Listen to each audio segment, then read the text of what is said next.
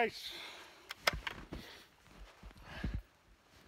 this this video is probably gonna ruffle some feathers or downright tick some people off. I got involved with a Facebook thing there a year or so ago. And When I saw that there's these logger groups, and I'm looking at like thousands of members, I thought, wow, that's pretty cool. So I got on a few of them, and really for, for two reasons. Okay, one, I've been doing this a long time. I've had just amazing opportunities to travel, work with a lot of guys all over the country, a couple weeks in Europe, Scotland. You don't get that kind of opportunity without learning a few things. Work with that many guys in that many different logging systems, you're going to pick up a trick or two. And I thought, well, I could pass them along, you know, maybe help some guys out. The second thing I thought is I can learn. I'm always learning. Never ends. There's something that I learned that I honestly couldn't believe. Here we are, 2021, and I'm still seeing, looks like professional loggers, chasing the tree down. Saw right in the back. Tree's halfway to the ground, chips are flying, and they're right there, still cutting. And I thought, wow. I mean, I, I'm assuming they know what they're doing. They certainly look it, and I'm betting they do. I'm not questioning, you know, their their skill level or their experience and their years and wisdom and all of that. But wow, this idea of chasing a tree down, I honestly thought, well, maybe you know, it creates this, you know, pretty cool photo op you know, but no. The thing that kicked me over the edge that I said, I'm going to throw a video out there and let her fly, is when I saw on YouTube, I saw an instructor with a bunch of younger guys watching him. He takes this tree down, about the size of that white pine, and the tree's, shoot, it's more than halfway to the ground. He's still cutting. And when he shuts the saw off, one of the first things he comments to these guys that are watching him as an instructor, he says, I stuck with it as long as I could. Are you flipping kidding me?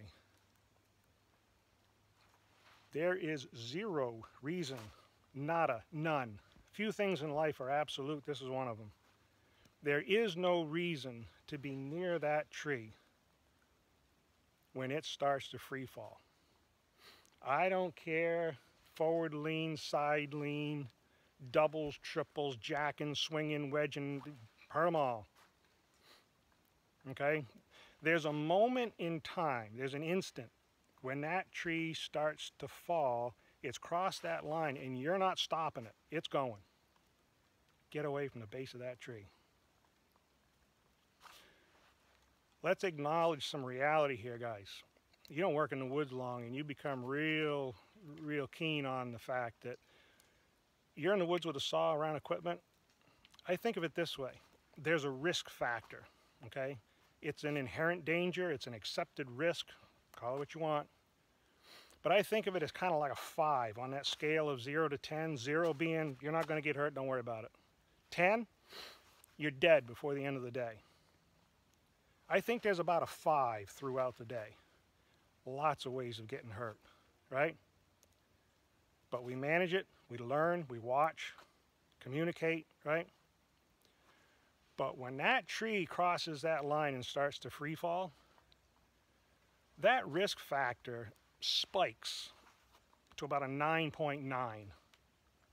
Think about it for about 20 to 30 seconds as that tree's falling limbs are breaking, trees are, you know, getting pushed around, all that mass is going over, right? Your life is literally in peril for about 20 or 30 seconds.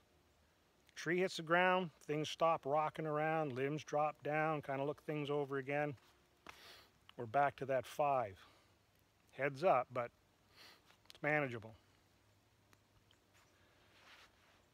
40 years of working here, I've lost four guys to the woods.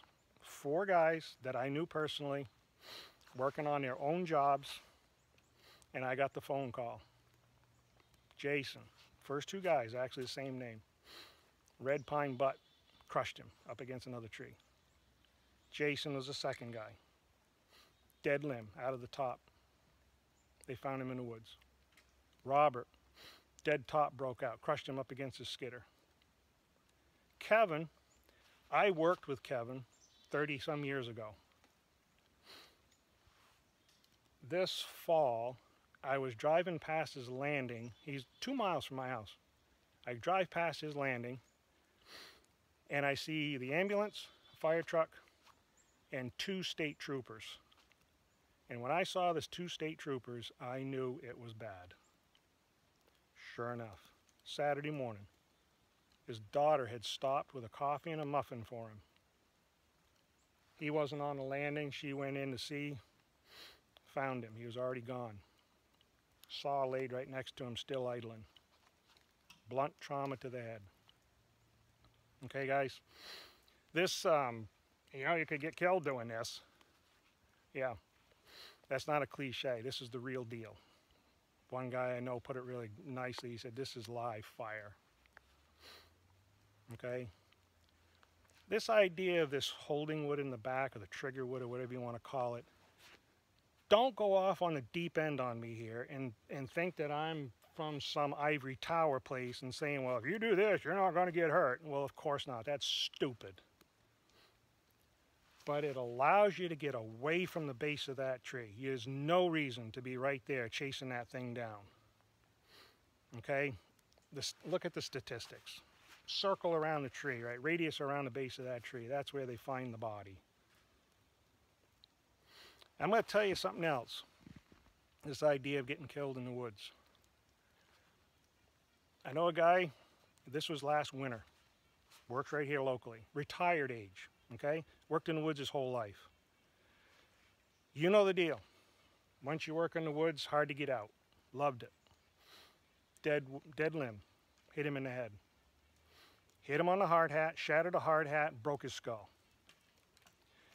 If the person, he was working 10 minutes, 10 minutes from the hospital, the person he was working with got him to the hospital in 10 minutes. They took one look at the injury, they threw him right in an ambulance and shipped him directly to a bigger hospital where they had the facility to handle him.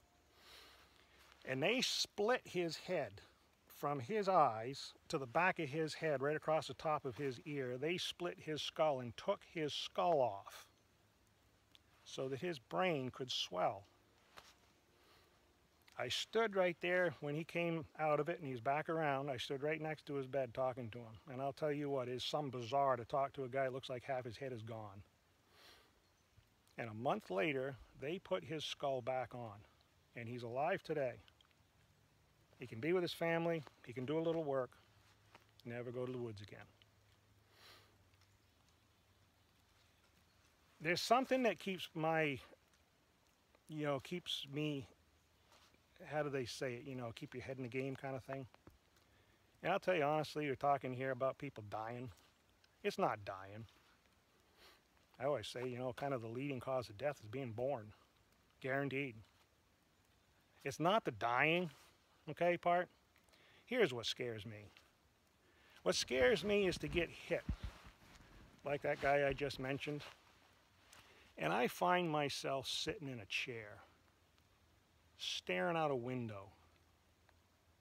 And weeks have turned into months, and months have turned into years. And I'm staring out that window, wishing somebody would come and visit. You know, like they did right after the injury happened. You know the deal, guys, right? Human nature. Right after someone gets hurt, oh, geez, go see him, see how he's doing. A couple weeks later, might get a text Hey, how you doing, buddy? Thinking of you today. While I'm sitting there and my wife is wiping the drool off my chin. That's what scares me. It's not hard to do, guys. You, I know there's guys out there. You, if you've if you've bared to watch through this here, you know, I know there's a lot of guys that say, "Well, yeah, that's just the way you do it." But if you've been able to not start spitting nails and you're chasing trees down and that's the way you were taught or, and all of that, that's fine. But think about it. You know, I hear this, look up, look up, look up. I always look up. Well, of course you look up. You're sizing up your tree when you're walking up to it. A production cutter, is he sizing up, he or she, sizing up two, three, four, five trees at a time, figuring out what order you're gonna cut them in. But when you start cutting, you pay attention to what you're doing. Get your notch done, get your hinge right for that tree. Your back cut is done, the trigger wood is established. You take another look around. It only takes a second, literally. Some crews have systems, you know, they're yelling, they got a whistle, they're yodeling, I don't, whatever you do. Check it out, make sure your drop zone there is still clear, nobody come in on you. And I say it's a snip, a click, and a go. The snip, cut the trigger wood. The click, set your chain brake. And the go, get out into that escape destination that you already pre-planned when you started into your tree. It's not hard, just might be a little bit different. It might save a life.